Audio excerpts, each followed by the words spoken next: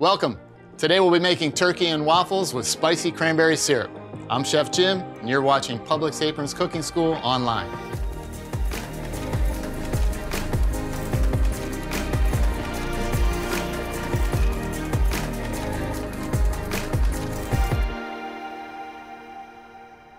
Okay, so we're gonna start by making our stuffing. I've brought some water to a simmer, and we're gonna add to that some butter.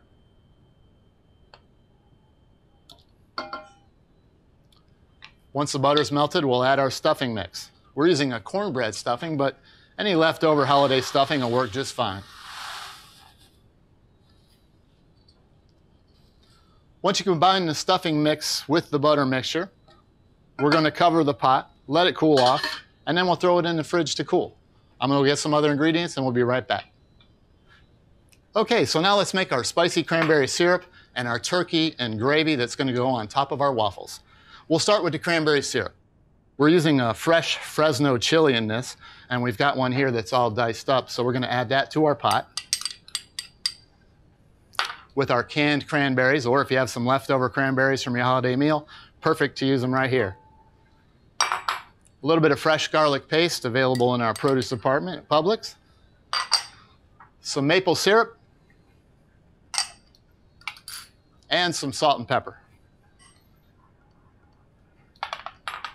We're going to combine that with a little bit of water. And bring that up to a simmer.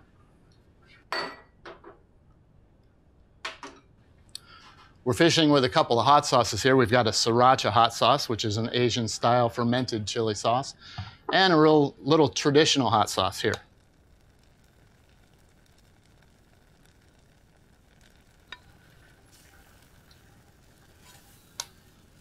Simmer this until it's thickened and it's ready to go.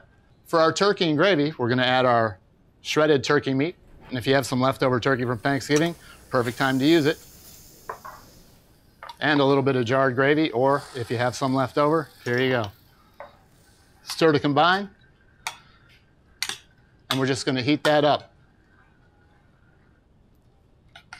So I'm gonna turn down the heat on our cranberry syrup, let it thicken and cook, and I'll go get the ingredients for our waffles, and I'll be right back.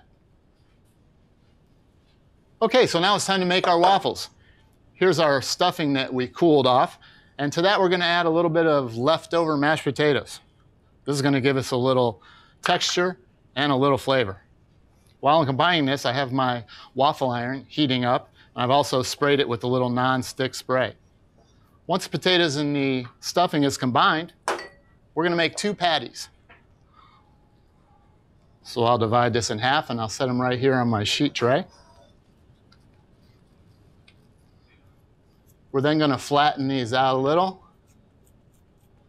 and place right into the waffle iron.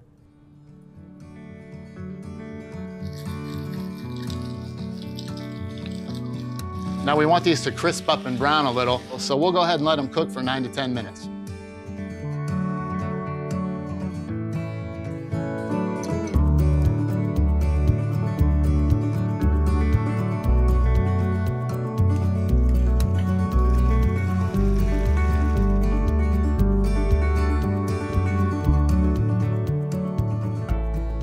Okay, our waffles are ready and they look awesome. Let's plate up our dish and give it a try. First, we're gonna cut our waffles into quarters.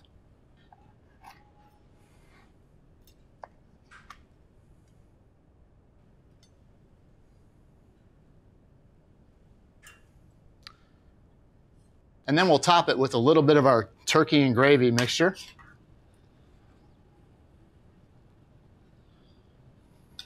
And then some of our spicy cranberry syrup. I just like to drizzle that around the edge.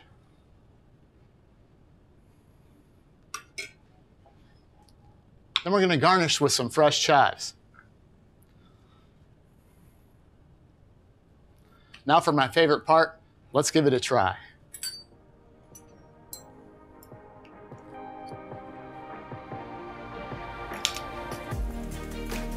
Oh my, is that delicious. I love the sweet spiciness of that cranberry sauce, just perfect. That's like having your holiday meal all over again. Wow. So that's how you turn your Thanksgiving leftovers into a tasty breakfast. Click the link below for the full recipe and exact measurements. Subscribe for more Publix Aprons Cooking School online videos and other content from Publix. Enjoy!